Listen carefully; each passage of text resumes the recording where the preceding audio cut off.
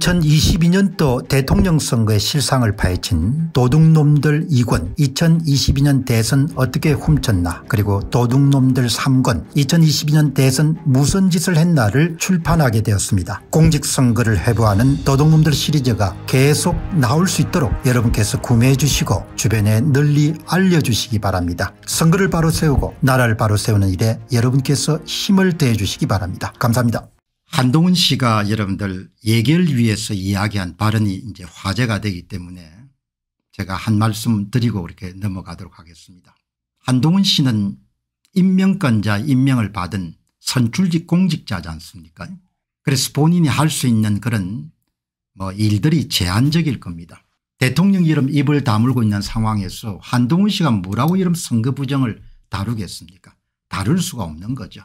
그리고 한동훈 씨는 젊은 날에 20여 년 정도를 검찰 생활했기 때문에 검사 생활이란 것이 여러분들 뭐죠 상명하달이 굉장히 명확한 그런 조직 위계 질서가 있지 않습니까 예. 그렇기 때문에 그냥 뭐 잘생기고 말도 잘하고 머리 회전도 빠르고 뭐 그렇게 똑똑한 사람이지만 그냥 대통령 지휘하에 있는 한 사람에 불과한 거죠.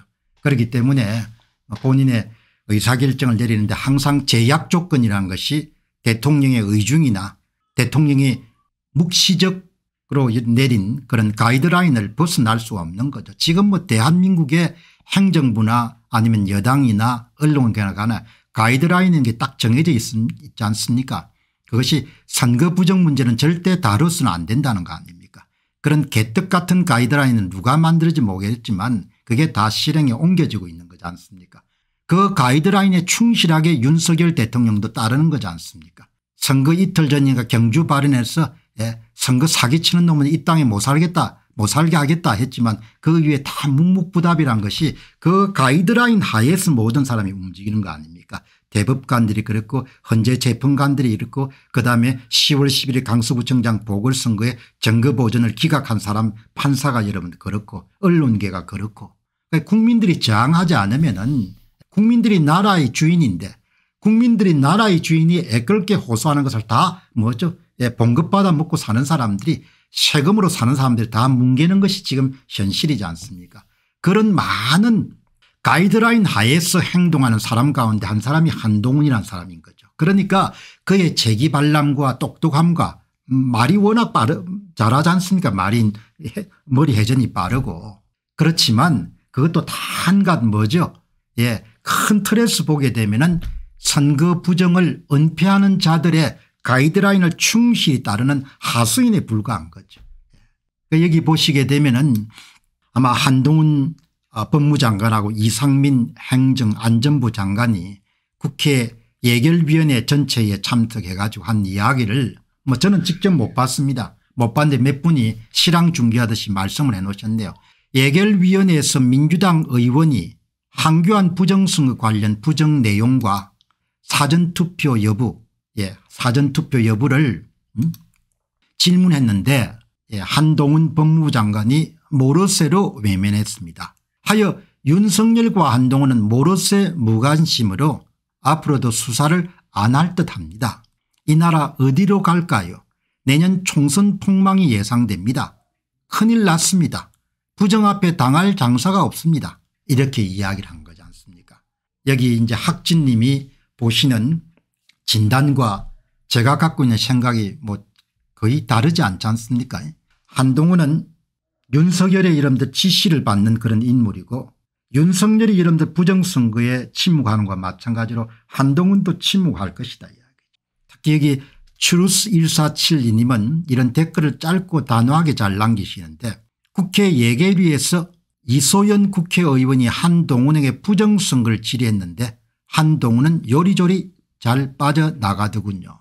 무슨 한동훈 씨가 할 수 있는 게 뭐가 있겠습니까 20여 년 이상 정도를 검사 생활을 했으니까 상명하달에 여러분들 하, 상명하복에 여러분들 아주 익숙할 겁니다. 민주당 이소영 국회의원이 한동훈 장관에게 부정선거 수사할 거냐고 하는데 피식 웃으면서 안 한다는 듯 이야기를 합니다. 한동훈도 너무 비겁합니다. 그럼 뭐 국회에서 부정선거 수사하겠습니까 하겠, 하겠, 할 겁니다. 이렇게 어떻게 이야기하겠습니까 다 그냥 뭐 예, 종놈하고 비슷한 거죠. 선거 부정 세력의 큰 가이드라인에서 다 종놈살이를 하는 겁니다.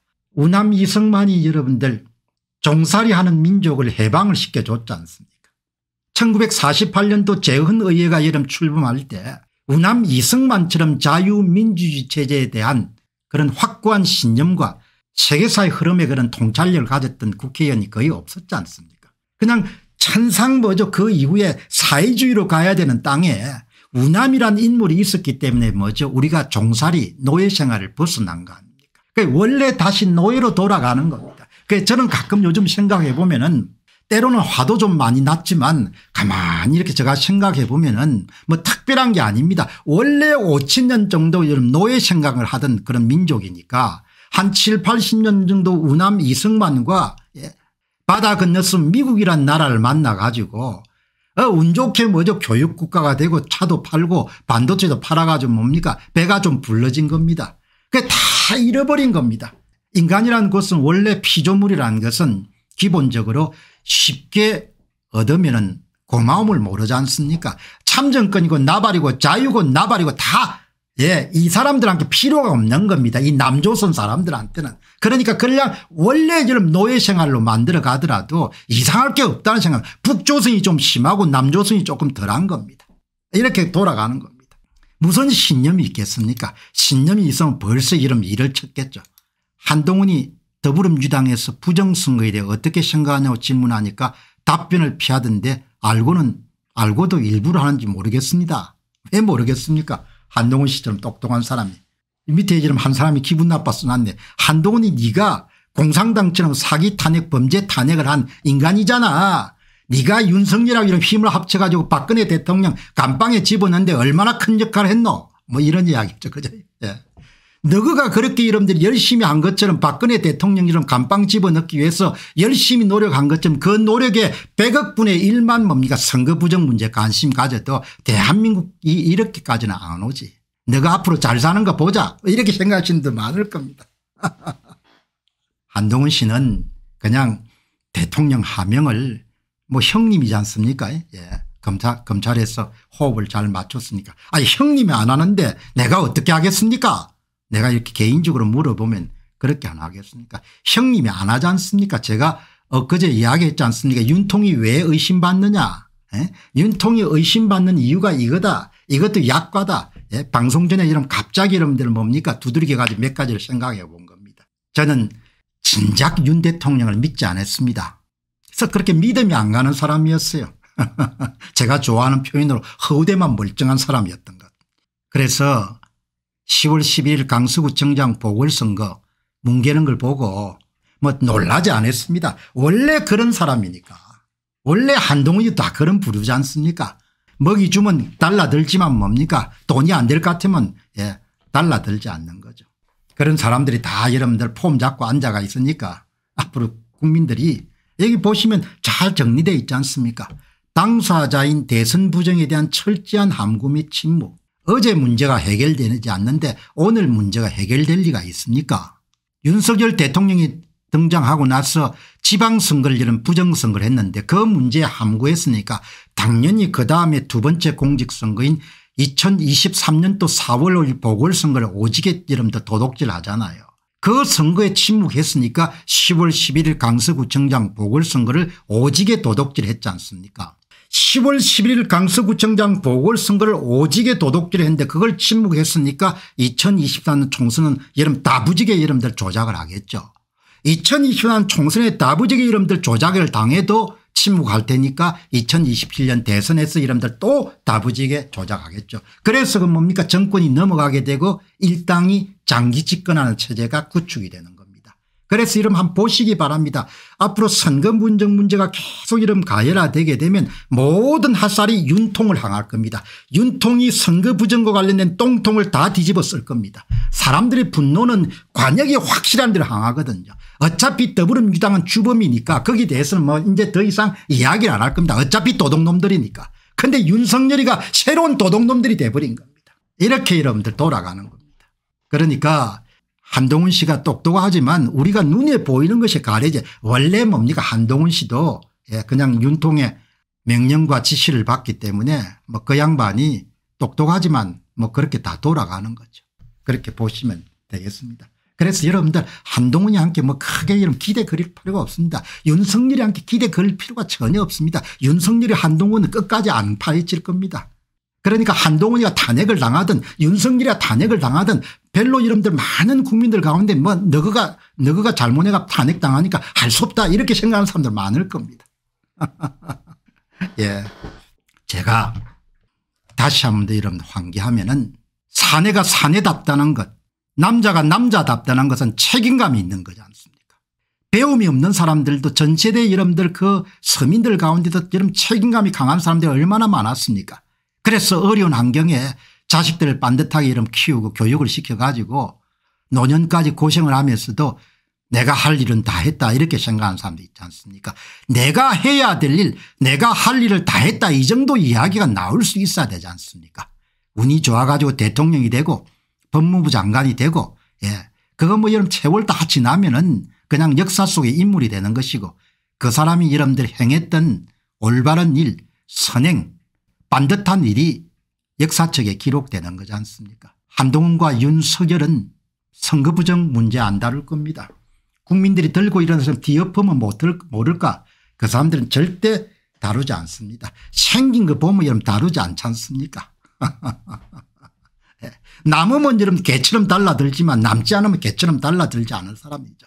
아니 남으니까 뭡니까 박근혜 대통령을 뭡니까 그냥 없는 제도 만들어서 감방에 쳐넣지 않습니까 내 한, 내가 항상 하는 이야기가 너가 박 대통령 감방에 쳐넣을 그런 예? 노력에 100분의 1 100억 분의 1만 하더라도 대한민국이 이렇게 어렵게 안 됐다는 겁니다. 집권 초기에 그 좋은 시절 다 넘기고 지금 선거가 여러분들 뭐 한 5개월 남짓했는데 한동훈이 함께 기대를 해 윤석열이 함께 기대를 해 에이 그거는 뭐 하기야 사람은 희망을 갖고 살아가야 되지만 그거는 그냥 희망 고문인 거죠. 물론 제가 틀릴 수 있으면 제가 틀리면은 다음에 제가 왜 틀렸는지 말씀드리고 사과를 드리죠.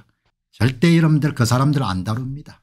그냥 그 사람들은 그렇게 챙겨 먹은 사람입니다. 그래서 뭐 대통령이 뭐 대단한 겁니까 그냥 선거회가 운 좋아가지고 그렇게 뽑힌 거 아닙니까 5년 하다 감방을 할지 어디를 갈지 어떻게 압니까 남자가 남자다워야 되지 않습니까 제가 이렇게 되돌아보게 되면 은 무슨 무슨 굵직한 족적을 남긴 그런 삶을 살아오지 않았지만 유소년기부터 머리끝부터 이런 발끝까지 여러분들 항상 자신을 차고 넘쳤다는 것은 내가 책임을 져야 된다 그거지 않습니까? 내 인생에 대해서 책임을 져야 되기 때문에 공부를 했고 내 인생에 이런 책임을 져야 했기 때문에 뭡니까? 아이들을 건사했고 내 인생에 책임져야 되기 때문에 여러분들 노년에도 건강 유지하고 열심히 사는 거 아닙니까? 책임감이 없는 남자들은 내가 가장 여러분들 하대하는 사람입니다. 제가 여러분들 사람을 그 직책이나 직업을 가지고 하대하는 것을 아주 싫어합니다. 사람을 사람답게 여러분들 대우, 대우하지만 무책임하게 생각하는 사람들은 그 사람한테 내놓고 이야기하지 않지만 속으로 아주 뭐죠 형편없는 인간으로 생각하는 겁니다. 말 잘하고 머리 좋고 이런 사람 이름들 저 선행하고 올바른 일을 하게 되면 서울법대 출신들이 대한민국이 지금 여러분들 나라가 넘어가는데 제대로 역할하는 놈들이 몇 놈이나 있습니까 서울법대 출신들이 이 이야기 들으면 좀 엄청게 생각했지만 서울법대 출신들이 지금 하는 꼬라지를 보시기 바랍니다. 뭘 하고 있습니까 제대로. 서울법대 출신들이 뭘 하고 있냐고요. 당신들이 그렇게 살아서는 안 되는 거죠. 가장 바닥에서 세금 내면서 여러분들이 열심히 사는 서민들을 생각했으라도 당신들이 그렇게 뭐죠 나라가 골로 가도록 만들어서 안 되는 거죠. 자 여러분 오늘 열을 각 조금 식히는 그런 의미에서 광고 하나 드리고 여러분들 다음 방송 시작하도록 하겠습니다. 이 선거 부정 문제를 체계적으로 다룬 이 부정선거 해부 시리즈가 도둑놈들 시리즈 5권으로 여러분들 정리돼 가지고 나왔습니다. 읽으신 분도 계시지만 정말 이 선거 부정 문제를 규명하기 위해서 노력하는 움직임을 후원한다고 생각하시고 그리고 한 나라의 이름 시민으로서 이 문제의 심각성을 주변에 이렇게 확산시키는 의무감이 있다고 생각하시고 이 책이 좀 확산될 수 있도록 여러분께서 힘을 더해 주시기 바랍니다. 이 책은 공병옥 연구소에서 나왔고 한 달 전부터 제가 이 알리기 시작한 책이 킹덤 북스에서 나온 기독교로 보는 세계 역사입니다. 한국인이 쓴 통사 가운데서도 굉장히 잘 쓴 책이니까 여러분들이 만일에 독서를 한다 이렇게 하면 세상이 날로 가벼워지는 시대지만 좀 묵직한 책을 한번 도전을 해서 세상을 보는 안목을 키운다 이렇게 생각하시고 읽어보시길 바랍니다. 여러분들에게 정말 훌륭한 책을 한 권 소개해 드리도록 하겠습니다. 김동주 박사님 역사학과 신학에 대한 상당한 조회를 가지신 분이 26년 동안의 연구를 총집결한 책이 바로 기독교로 보는 세계 역사란 책입니다. 우리나라에서도 역사 뒤집기를 위해서 좌우 진영이 굉장히 격렬하게 싸우지 않습니까? 그만큼 이제 역사를 어떻게 해석하느냐, 바라보느냐가 굉장히 중요하죠. 세계사란 큰 관점 속에서 좌우에 치우치지 않고 반듯한 그런 역사적 관점을 가질 수 있지 않겠냐 그렇게 생각합니다. 기독교로 바라보는 세계사 이 책이 한국사뿐만 아니고 세계사를 반듯하게 올바르게 바라보는데 여러분들이 큰 지침이 될 것입니다.